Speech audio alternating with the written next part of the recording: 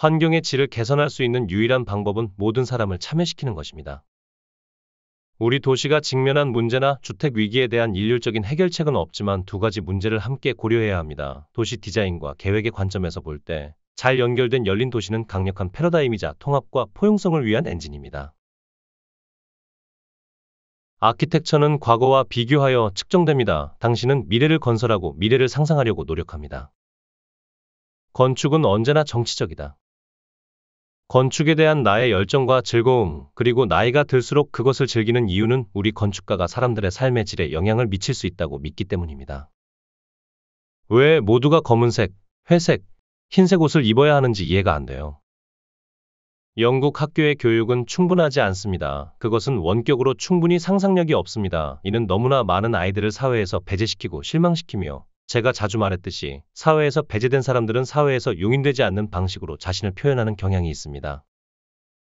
하지만 난독증을 겪으면서 하지만 넌 그렇게 할 수 없어라고 말하는 사람들이 실제로는 그다지 중요하지 않다는 사실을 깨달았습니다. 나는 아니오를 너무 심각하게 받아들이지 않습니다. 형태는 이익을 따른다는 것이 우리 시대의 미학적 원리입니다. 부자와 가난한 사람 사이의 격차가 빠르게 벌어지고 있습니다. 저는 학교 내 건축뿐만 아니라 역사, 지리, 과학, 기술, 예술 분야에서 논의되는 건축을 얻기 위해 수년 전부터, 적어도 30년 전부터 싸워왔습니다. 모든 신규 주택의 디자인에 더 중점을 두면 토지를 최대한 활용하고 주택과 공공공간을 조성하며 도시 생활 구조를 강화할 수 있습니다. 완전히 가상센터를 만들 수 있다고 생각합니다. 하지만 제가 일반적으로 느끼는 바는 아마도 제가 너무 늙었기 때문에 여전히 대면이 필요하다는 것입니다. 당신이 열악한 환경에 살고 있다면 당연히 그곳에서 나가고 싶고 시골로 들어가고 싶을 것입니다. 아시다시피 환경은 파편화되고 있으며 많은 곳에서 환경은 정말 끔찍합니다. 나는 단지 고품질의 재료가 있고 우리가 그것을 바꿀 때 단지 섞는 것이 아니라 그 변화를 축하할 수 있도록 바꾸는 방법이 있어야 한다는 것을 말하는 것입니다. 우리 어머니는 매우 가족 중심적이었습니다. 그리고 나는 아이들과 함께 있는 것을 정말 좋아합니다. 건축가는 고객이 아닙니다. 우리는 지을 것이 없이는 지을 수 없습니다. 탄소세를 부과하면 자동차는 줄어들고 자전거는 늘어나게 되며 도보와 대중교통을 이용하는 사람들이 더 많아질 것입니다. 나는 간략한 내용을 통해 사회에 영향을 미치고 미묘하게 변경하거나 어떤 흥미로운 일이 나타날 수 있는지 확인하기 위해 새로운 방식으로 살펴봄으로써 사회에 영향을 미치려는 아이디어를 좋아합니다. 혼자서 TV를 시청하는 것은 그다지 영감을 주지 않습니다. 하지만 사람들을 만나는 것은 새로운 아이디어를 얻고 이를 완수하는 곳입니다. 현대화해야 합니다. 변화해야 합니다. 전통적이라는 재미만을 위해 전통적일 수는 없습니다. 고딕 성당이든 로마네스크 양식이든 대부분의 건물은 당시로서는 첨단 기술을 사용했습니다. 나는 자전거를 탄다. 이는 80세 노인이 할 수 있는 건강한 일이다. 나는 5마일 이상 가는 경우가 거의 없지만 그 5마일 안에는 내가 가고 싶은 장소의 80%에 도달할 수 있습니다. 내가 시작했을 때 내가 아는 거의 모든 건축가는 공공 분야에서 일하고 있었습니다. 그곳에서 급진적인 사고가 이루어졌습니다. 하지만 우리 아버지들이 그랬던 것처럼 뒤를 돌아보며 그때가 더 좋았지라고 말할 위험은 항상 존재합니다. 나는 1940년대에 어머니가 나를 데리고 피카소 전시회를 보러 갔던 것을 기억하며 나는 그 전시회의 생동감과 생동감의 깊은 인상을 받았습니다. 당시 대부분의 런던 시민들에게는 다소 아방가르드적인 모습이었지만 그 이후로 도시는 현대 문화의 중심지가 되었습니다.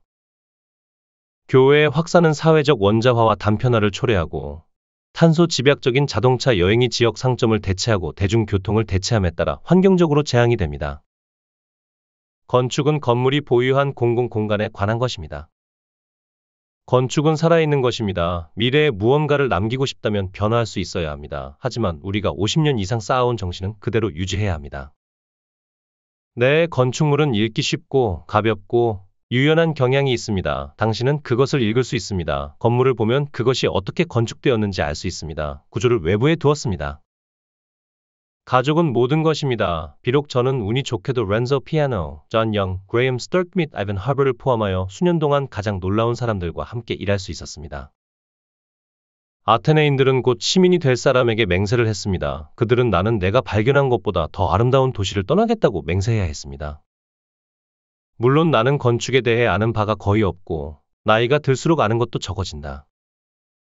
피렌체에서는 고전적인 건물이 중세 건물과 마주하고 있습니다. 우리가 좋아하는 대조입니다.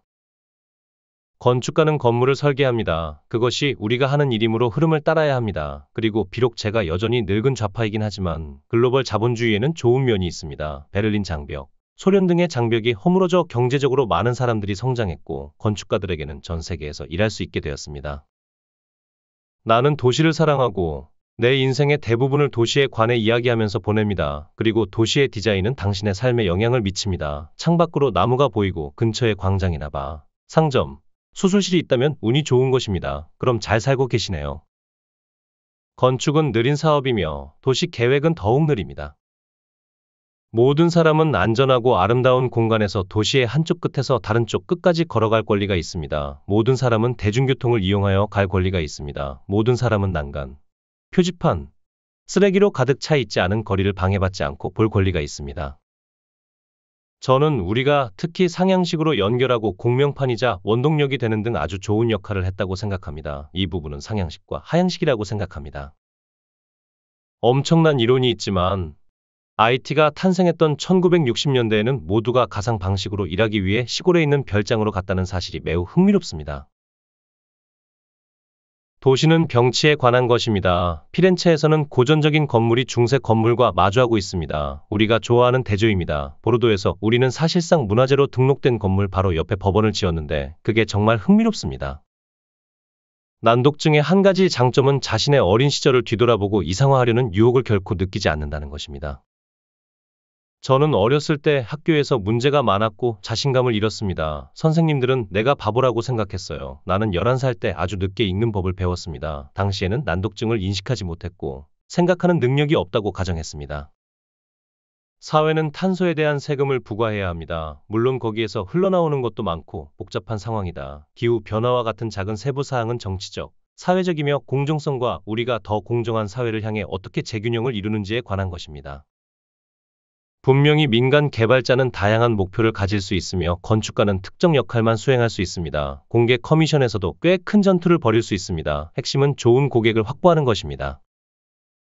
나는 건물들 사이의 대화를 매우 믿습니다. 나는 그것이 항상 거기에 있었다고 믿습니다. 건물들은 서로 다른 정체성을 가지고 있고 서로 아주 잘 어울려 사는 것 같아요. 우리는 항상 새로운 것에 대한 충격을 받습니다. 그래도 괜찮습니다. 르네상스 스타일은 중세 스타일과 완전히 다르며 시간이 지남에 따라 대화가 이루어집니다. 뉴욕에서 볼 수 있는 것 중 하나는 사무실이 밤에도 불을 켜놓는 것입니다. 그들은 그들의 건물을 자랑스러워합니다. 엄청난, 하지만 그들은 에너지를 소모하지 않고 자랑스러워할 수 있는 다른 방법을 찾아야 합니다. 나는 국가보다 도시에 훨씬 더 열정적입니다. 도시 간의 경쟁은 국가 간의 경쟁보다 더 문명화되어 있습니다. 거기에는 이해가 있습니다. 나는 내 일을 사랑합니다. 나는 무엇을 위해 은퇴할 것인가? 부모님은 늘 나에게 불가능한 일은 없다고 말씀하셨다. 일과 삶의 열정을 가져라는 도공이셨던 어머니 다다께서 제게 심어주신 말씀이었습니다. 그녀는 또한 나에게 예술을 소개하고 새로운 것을 받아들이도록 격려했습니다. 도시의 활력은 건전한 용도와 사람의 조합에 달려 있습니다. 탁월한 세계 도시인 런던은 전 세계 사람들을 끌어모으고 있습니다.